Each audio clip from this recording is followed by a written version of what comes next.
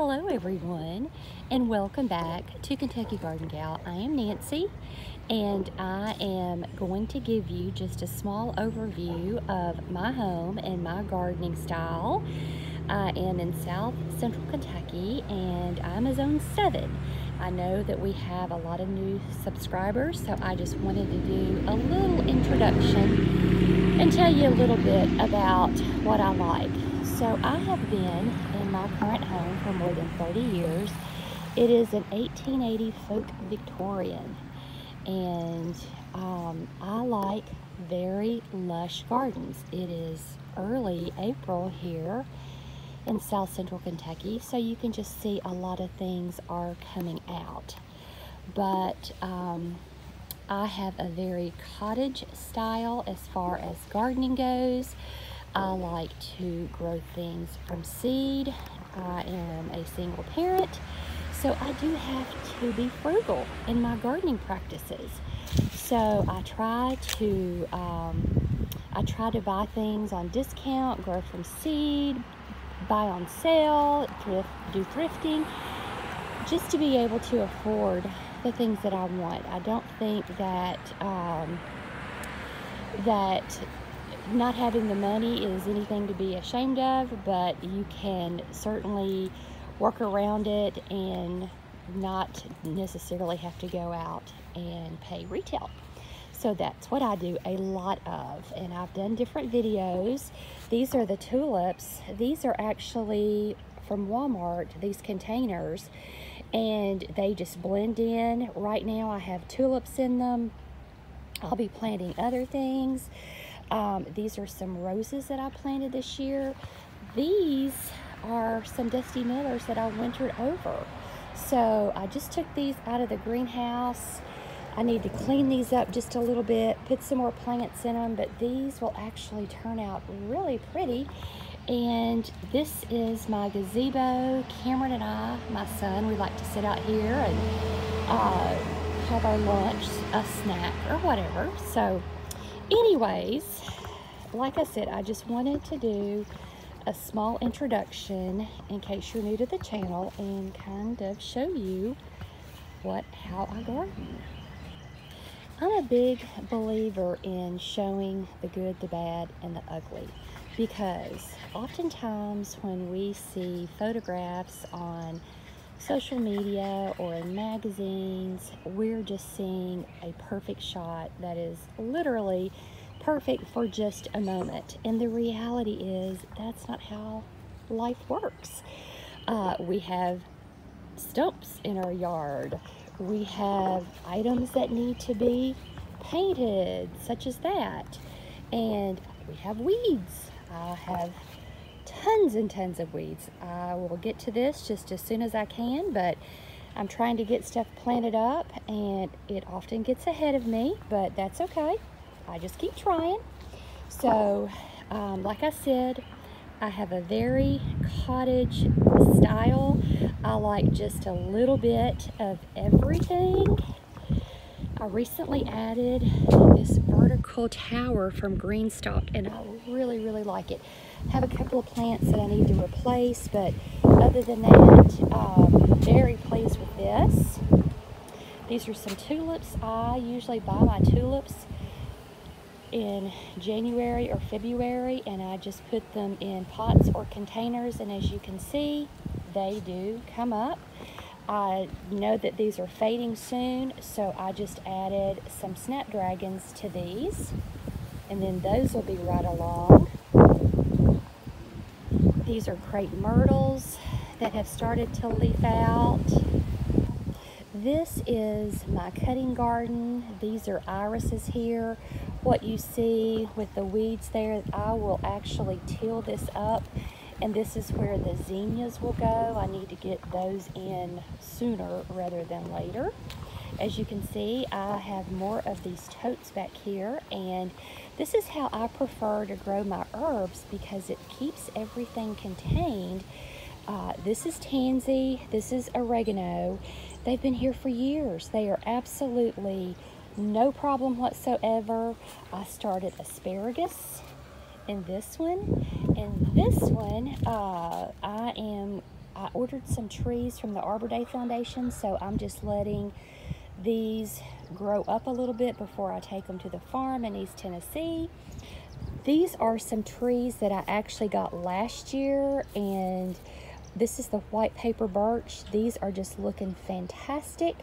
So I will probably actually up pot these really, really soon because I just went today and picked up 50 more trees. So after we get our tote, our raised bed tote planted up, I'll show you what I need to do to the trees that I just picked up. But this is a little garden area. This was my first uh, raised bed. I made it out of cinder block myself. And you can see I haven't got to paint my uh, little frogs there yet. That's on the list. But this is a little garden that I have. And um, looks like there's foxglove and gladiolas and bellflowers, liatris, different things in there. And of course the garden phlox. But I just like a little bit of everything. And I just, it doesn't bother me to mix and match it. I think that's just fine. And um, let's go over and look at this clematis. This clematis is just gorgeous. Look how pretty that is. Isn't that beautiful? I just love that. All right. Oh, we can check in on the chickens. Let's go say hello to the ladies. There's the chickens. So we'll say hello to them and thank them for the eggs. We are making, Cameron and I are making a crustless quiche for dinner using six fresh eggs from our chickens. So let's go start on our first project. This is a little garden area that I have. It is actually tucked in behind a building. There's a fence on this side, which is my neighbor's. You can tell this just isn't a big area at all, but it's just perfect for container gardening because it's so protected and it's like a microclimate back here. So you see these four beds, which are the food grade uh, totes that have been cut in half. And I started out by putting a lot of straw in each one of them. I have added compost, but it's pretty much just disintegrated. So today, I'm going to work on just one tote at a time. So I'll do one today, one tomorrow, and so on and so forth. But I'm going to start with this one. So I had to come in and weed all of the grass out of the straw. And there are some bulbs in there, as you can see, and I'll just sort of leave them where they are. But I did go to our local Lowe's and I bought soil for this. This is what I like to use. So I have gotten two of these 64 dry quarts at our local Lowe's, and it does have the fertilizer in there. I think this was this ran me around $25, $28, something like that. But these two bags should fill up what I need to fill up for my tote. And then we'll put in our bedding plants. So this is how far the first bag of soil got me and as you can see I am definitely going to need the next bag. And I went ahead and brought my water over and brought my plants and brought my supports. So as soon as we get the soil in we will start planting this up. This is with the second bag in and you see how I left those tulip bulbs. I don't know if they will bloom but they'll be there and they'll be there for next year. So we'll just have those blooms and let's get planting in this. I have selected my plants and for this tote, this is going to be tomato, basil, and marigolds. That is companion planting. And let me tell you, when this gets going in the summer, this smells like an Italian kitchen. It smells so good to come out. So let me show you what I have. uh, here are the marigolds, and this is just, it's called a Bonanza mixed. And I did buy these at the Amish earlier. They've been in the greenhouse. They do have a little stress to them. However, they've done well. But I do have more marigolds started in the house. This is a dwarf basil minette and it just looks wonderful. Look how pretty that is. So I'm gonna have a tomato. My tomatoes are Cherokee purples. So I'll have those. And then in the center is a regular sweet basil, which will get really big. And then these will be the dwarfs. And then we'll have the marigolds cascading over the front. Now, here is something that I like to use as supports, I take just an old rusty tomato cage. We have been in this house for 30 years and these tomato cages were here when we moved in. So what I do, I turn them upside down. I put um, uh, I put a rubber band or a wire or something on the end and then I just stick these little terracotta pots on top which I will wash this you can even write on these if you want to. I do have some new plant markers that I will be bringing out and I'll show you those when we get to the end. But you can even write on these. There's just, um, it's your garden. You just make it as whimsical, as um, whatever your style is, you can just do this to suit your style. But this is the first tote that I'll be planning up and then I'll continue to work on these. I have a total of seven, so it'll take me a week to get everything planted up. But let's get these in the ground.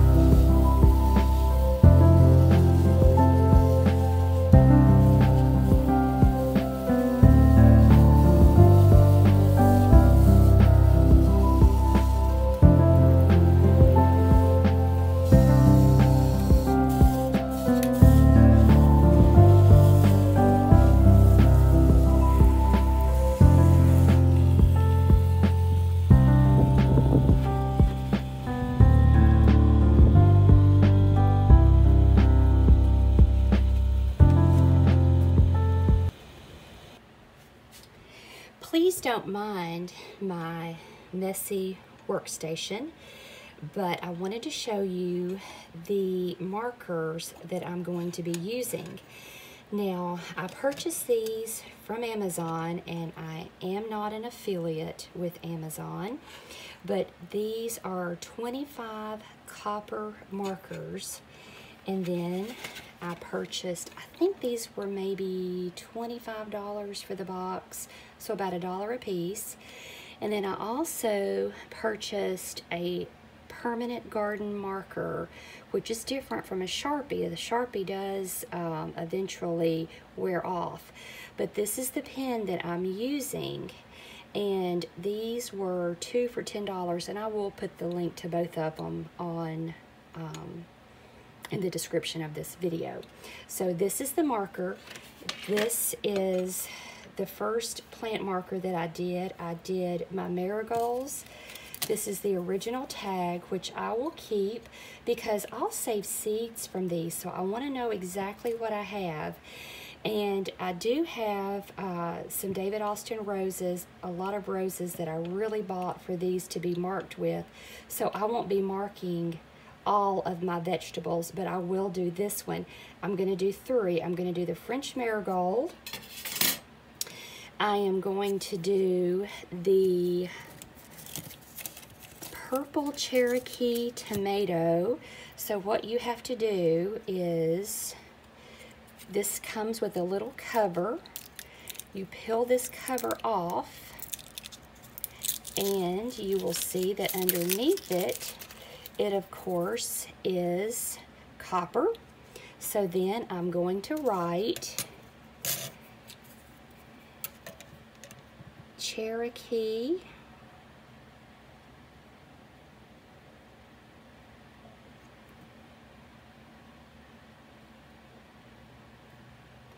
purple tomato.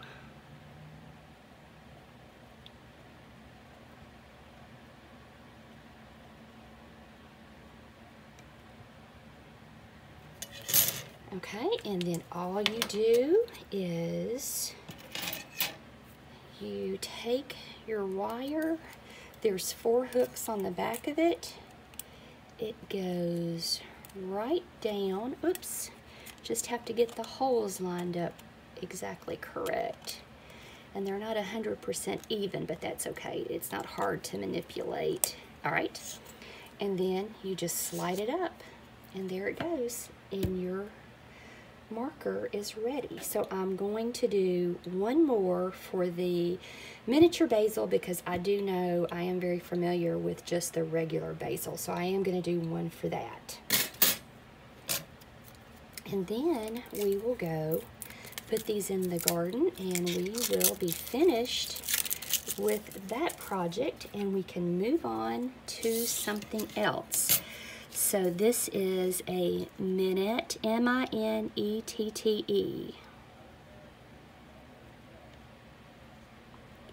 And it's a dwarf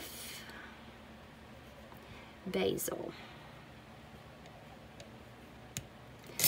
So there we go. Got that one done. Put it on our holder. And then we'll go put these in the garden. I did leave the water running because I do want to give that a good, slow drink of water. But that's how these look. So we'll go check these out in the garden.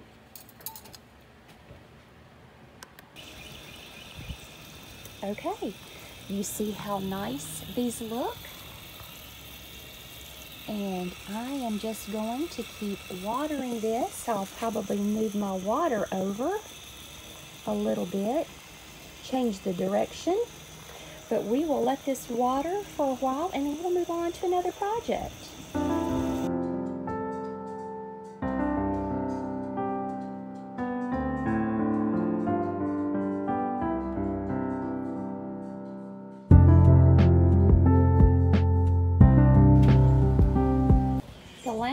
Project that we're going to do today, I picked up 50 trees from our local conservation office uh, today. Now, these have been, she said they were in her Tahoe in a hot vehicle uh, since at least last Friday, last Saturday. I think the 12th is when they gave them away. So the first thing that I need to do is to get all of these trees into some water and let them soak. And I have a container here and I have a smaller container here. I also picked up an American persimmon tree. So we will also take this out and get this one, whoops, into some water. So let's just see. That is what it looks like. That is a bare root plant. And down in the water, it goes. Now, I do have some compost tea in there. That is why that is a little bit of a different color. Let's see. I thought maybe she had these labeled, but I don't see any labels. i tell you what I'm gonna do. I'm gonna turn the camera off, take these out of the bags, get these in the water, and then I'll tell you what I got. Well, as it turns out, there was only one of my trees that were that's labeled and it is the yellow yellow tulip poplar. And I will put a picture of that up. Of course the uh, American persimmon that I had bought I know that these right here are the loblolly pine. I know that there is a Kentucky coffee tree and a let's see a pin oak. Some of these are pin oaks and I'm not really sure of the rest. But the most important thing is that I get these in some water and I'll probably, and you can see these, they're trying so hard to live. Um, I will let these just stay here for, I don't know, maybe a week and then I'll move into one of those Walmart containers that I showed you with lots of good soil and compost and I will let those grow there and then I will pot those up. Maybe I don't know if it'll be this fall or next fall but I'll take these to the farm in East Tennessee. So I'm always happy to get 50 free trees very excited about that so I appreciate all of you watching this video. I hope that everyone is having a great day and I will see you in the next one.